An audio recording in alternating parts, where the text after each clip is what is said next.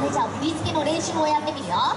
じゃあね一番多く出てくるトミカとプラレールのポーズいきますよ。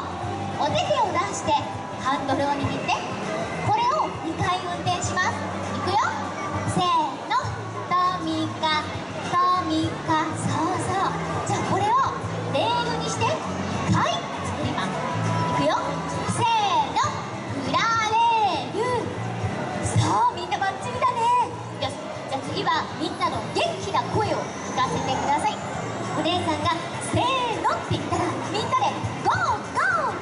しいんだ。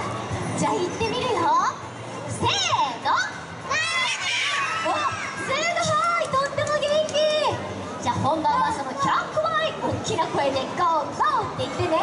でその時に自分のかっこいいポーズとかかわいいポーズとかいろんなポーズをしてみてください。